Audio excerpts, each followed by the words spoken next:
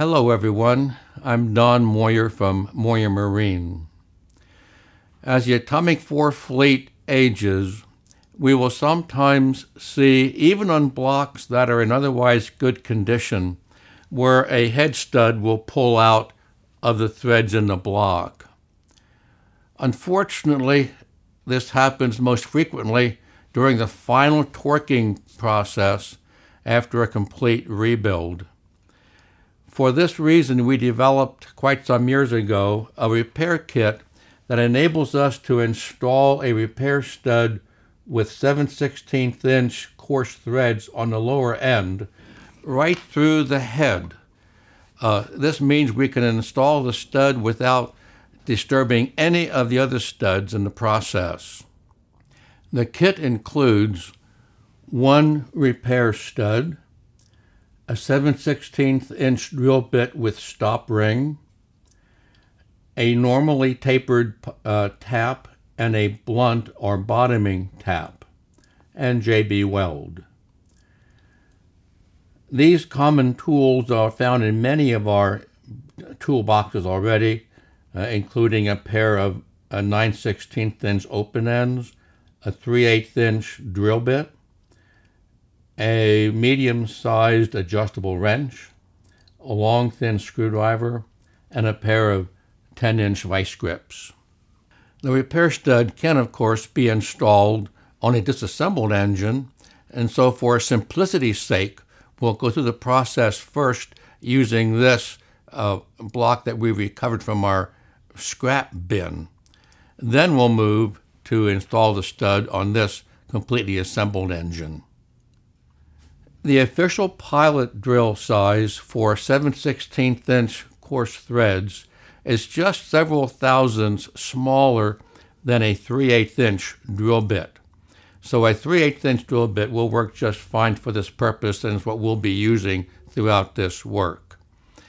In fact, by the time that a stud pulls through several thread widths, uh, the remaining hole will frequently accept a 7 16 inch tap with no additional drilling required. However, it's always prudent to take a drill bit and using as a reamer to make sure the hole is ready to receive the 7 16 inch tap. Now I need to pause here for an important observation. All of the holes, the stud holes in the top of the block go into a generous, uh, generously deep water jacket, except for the ones on the uh, manifold side of the engine. These holes only extend down approximately one inch before they encounter the bottom of a water jacket. So on these holes, I always put a, a piece of tape so I can keep track of how deep the hole is going as I ream it to the proper depth. You can see the tape being reached at that point. I'll remove the debris. And that hole then is ready to receive the 7 16 inch tap. With the stud hole prepared to receive the 7 16 inch tap, we'll use the head as a guide to make sure that the tap will be going down straight.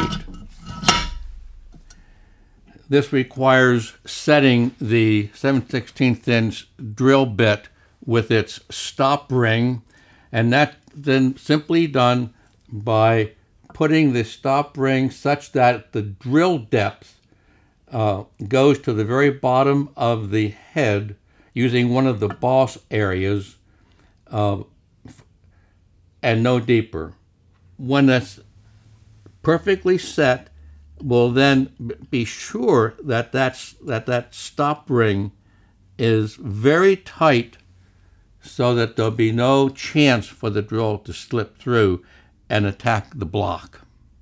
With the stop ring securely set, we'll be reaming this hole now all the way through the head to the stop ring. Uh, many people express concern that we're somehow violating the head by increasing the size of this hole, but the hole is already just several thousandths under the 7 16th inch. So we're reaming the hole very slightly over what it was to start with. And I, I can say I'm using the the vice grip as a as a hand reamer because most of the time if you're doing this on a boat, uh, changing a head on a boat, you won't have space to use a, a electric drill anyway. So we'll just continue through until the bottom of the head's reached.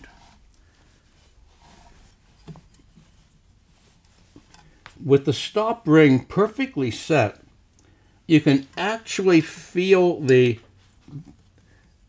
end of the drill coming through the bottom of the head just as the stop ring is reached, uh, which is a really nice feeling.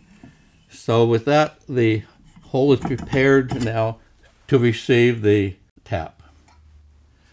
So to review where we are at this point, we have a 7 16 inch hole through the head, and we have a 3 8 inch hole, pilot hole, into the block, ready to receive our 7 16 inch tap.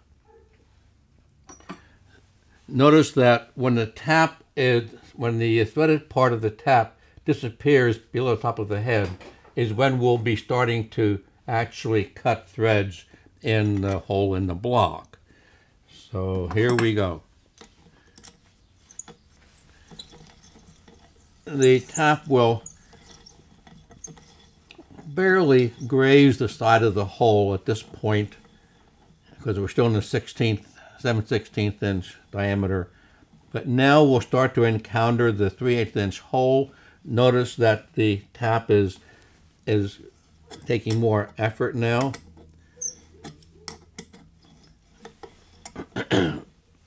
we'll continue another inch or so, at which point we should feel the bottom of the hole as the gentle taper of this tap reaches the bottom of the 3 8 inch hole. You really don't need any type of cutting oil here as the cast iron cuts quite easily.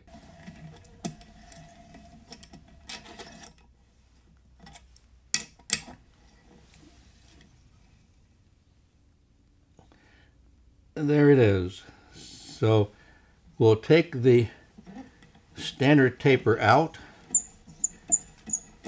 and run the bottoming tap in just so that the threads will continue to the bottom of the hole. This is the bottoming tap that we're putting in now. It also just grazes the side of the 7 16th inch hole in the head.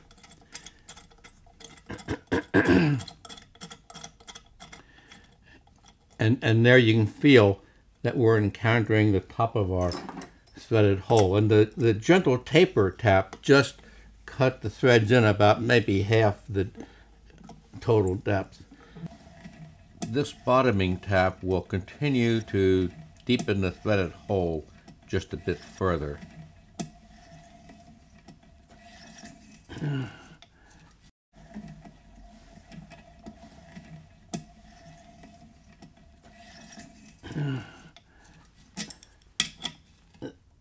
there the bottoming tap is now at the bottom of the hole. The actual tapping of the hole in the block is in many respects the easiest part of the whole operation. And now we're ready to see what our repair, how our repair stud likes the hole that we prepared for it. Uh, notice it, it, it literally falls through the, the hole in the head and, and finds the threaded hole immediately. And it's going in finger tight, which is sort of nice. There. Now we'll remove the head, and if it's seated properly, I'm going to show you how the top of the bottom threads is actually an incomplete thread, so it stops and won't let you put the stud below the top of the block.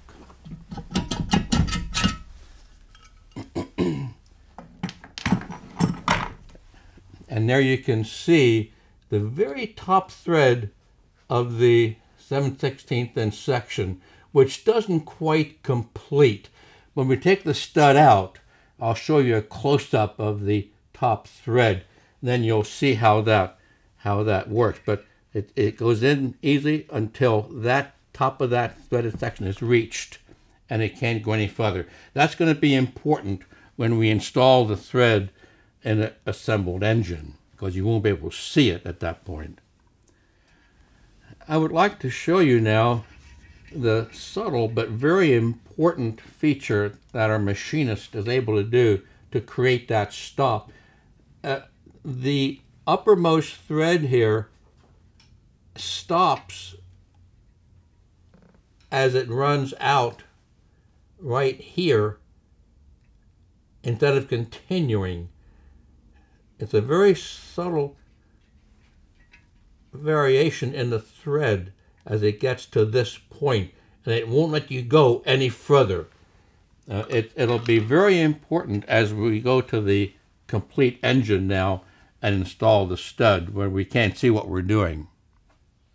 So while we were off camera, we brought the assembled engine status up to the point we had left off with the bare block assembly, meaning that we ran the 3 8 inch drill bit through the stud hole in the block, and we also enlarged the hole in the head to 7 16th of an inch to get ready for the, uh, the tapping operation. After that, we are now ready for dry fitting the stud in the threads we just cut in the new in the assembled block. We know from prior measurements that the stud should go down to the stop ring just at the point that we'll see about an inch and three quarters of stick up above the top of the head. We're now ready to complete the job by removing the repair stud and applying JB weld to both the stud and to the threads in the block.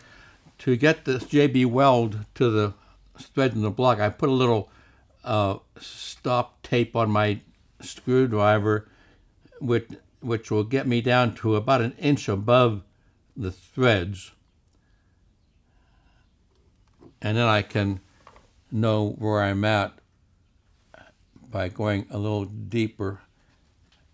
And when I get to the tape, I'll be at the bottom of the threads.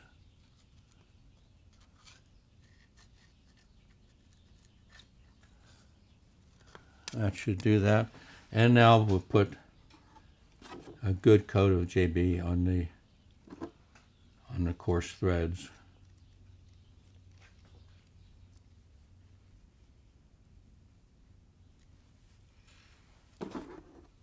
And then we'll work them down in there.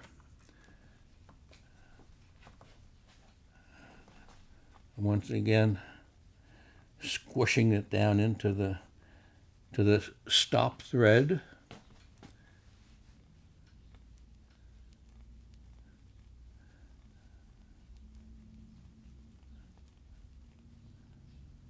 which is right there. Another quick check of the total depth, just under inch and three quarters. And I like to put uh, some nuts on there and give just a little bit of additional torque than I can with my fingers to make absolutely sure that those threads are firmly seated.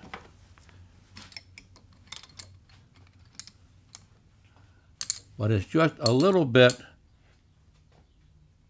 above finger tight. Then I'll clean away the excess JB weld.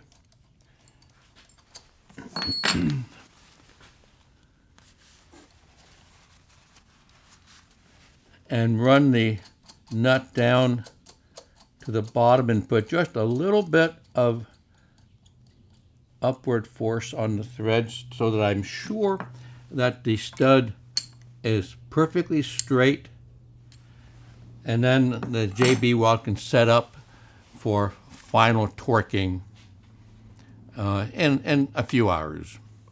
In case you're wondering why the repair stud is made so long, uh, the answer is that we only make one length and it has to be long enough to accommodate the longest application, which happens to be the three manifold studs, in which case the installation steps are the same as with the block. After the JB weld sets up and the nuts properly torqued, you can cut the stud off to whatever length uh, you need to for your application, as we have done here. Thank you for your time and, and for your patience. We hope that this video will serve as a useful addition to the printed instructions that comes with these kits. Goodbye for now and happy sailing.